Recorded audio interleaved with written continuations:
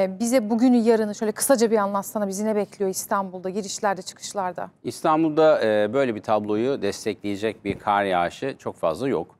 E, öğleden sonrası itibariyle bölgesel kar geçişleri yine bekliyoruz saat 3-4 suları itibariyle.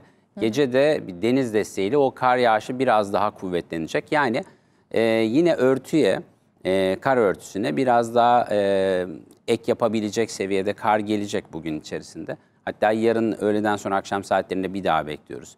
Perşembe yine kesintilerle var. Anadolu yakasının bu sefer doğu kesimlerinde.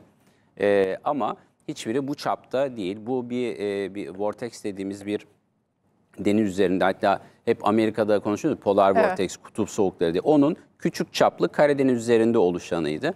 Önce Avrupa yakasına, dün gece itibariyle Anadolu yakasına geçti ve o ömrünü tamamladı. Zaten şu tabloyu oluşturan da e, dün öğleden sonra 2-3 sularından sonra gelen kar. E, onun o zamana kadar olan dilimde e, böyle bir tablo yok. En fazla oluşan kar kalınlığı 12, 13, 15 santim. E, onun üzerine oradaki 2-3 saatlik dilimde zaten beklenen de oydu yani yayınlarımızda bahsettiğimiz öğleden sonra İstanbul kilitlenebilir diye. Ee, orada aldığımız karda öyle bir e, miktarda kar bırakacak bir sistem yok.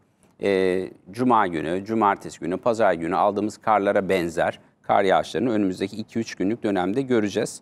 Ee, tamamen e, yok değil ama çok kuvvetli olmayan kar geçişlerini e, önümüzdeki günlerde görüyoruz. İşte bugün e, akşam saatlerinde öğleden sonra biraz var. E, yarın biraz var.